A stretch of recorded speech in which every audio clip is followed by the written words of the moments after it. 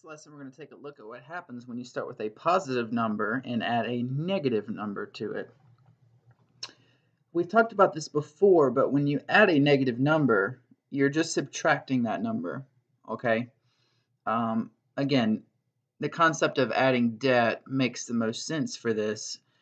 Uh, if you have, let's say, um, $5, okay, we'll just use this example, and you add $3 of debt, in other words, you add $3 that you owe someone, well, you're subtracting $3 from the $5 that's in your wallet or in your pocketbook or whatever. Um, so when you add debt, you're subtracting money, and therefore you end up with $2. Um, always remember that when you're adding a negative number, it's you're taking money away. Okay, so it just becomes a negative. But like we talked about before, always draw the number line out. Okay, we're starting at five, okay, or five dollars, and when we add a negative, we're moving to the left because we're subtracting that number. We're ending up at two. Now, unfortunately, with this particular lesson, um, it might not always be a positive number. Okay. For example, had we started at one dollar and owed somebody three, we would have ended up with negative $2. We would have been $2 in debt. And so the key is whether or not this number is bigger than that number. Okay, if this number is bigger, for example, 5 is bigger than 3, then your answer will be positive. But if this answer if this number is smaller than that number, say it was 1 minus 3, your answer will be negative. Of course, if they are the same, the answer is going to be 0. For example, if you had $3 and someone and you owed three dollars to someone, you pay them the three dollars and you end up with zero dollars. However, the gist of this lesson stays the same. When adding a negative number, okay, just subtract that number. That's it. Okay, uh, when you're adding a negative, it just becomes subtracting the number.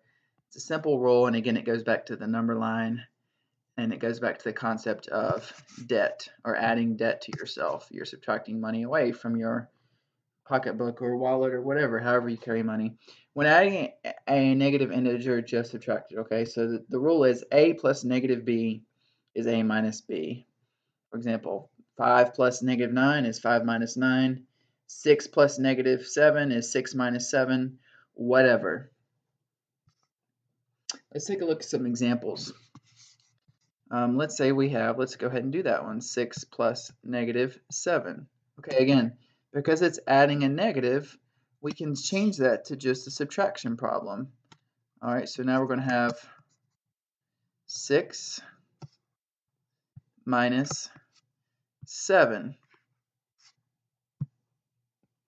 Now again, if you're not comfortable with adding and subtracting or if you forget the rules, you can always draw the number line and that's what I'm going to do for this. I'm going to demonstrate what you should do if ever in doubt. Here's 0.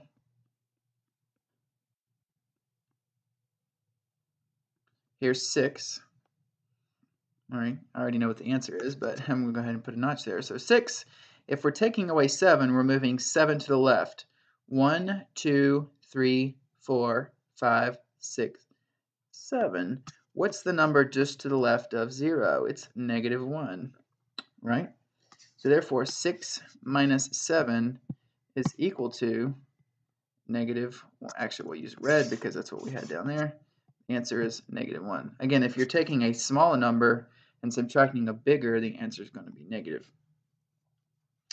So there's our first example. When you add a negative, you just end up subtracting it. All right, let's say we have 100 minus, or sorry, plus negative 14. Again, the rule is since you're adding a negative number, this just becomes a negative. So it ends up becoming 100 minus 14.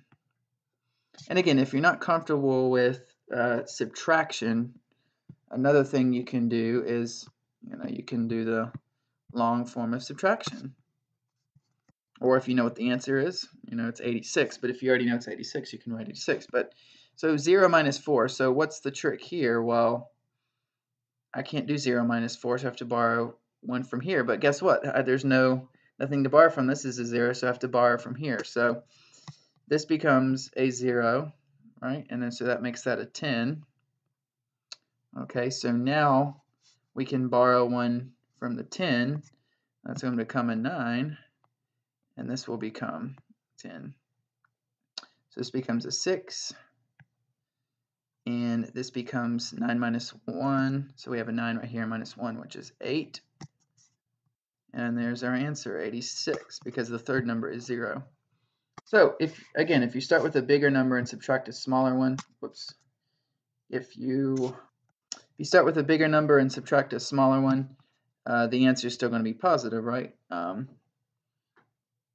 so there it is, 86. And again, the gist of this lesson is simple. If you're adding a negative number, all you have to do, move up to the top here. If you're adding a negative number, all you have to do is just subtract it. Plus minus becomes minus.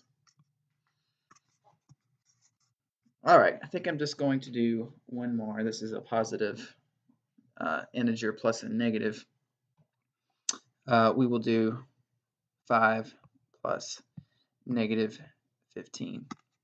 So again, by now you should see that that's just going to become negative. It's plus minus, so it becomes 5 minus 15. All right, so we have 5 minus 15. And again, if you're unsure, draw the number line. Now we might not do every single tick on this one. But here's 5 and we're subtracting 15. So not only are we subtracting 5, but we're subtracting 10 more than that. Subtract 5, subtract 10 is the same as subtracting 15. The answer is going to be negative 10. And again, if you start with a small number and you subtract a bigger one, your answer is going to be negative. So for the example, so for this example, the answer is negative 15. Again, the gist of this lesson is if you're adding a negative number, you might as well just subtract it. That's the easiest way to add a negative number. And if you have any other questions about starting with a positive number and adding a negative one, let me know.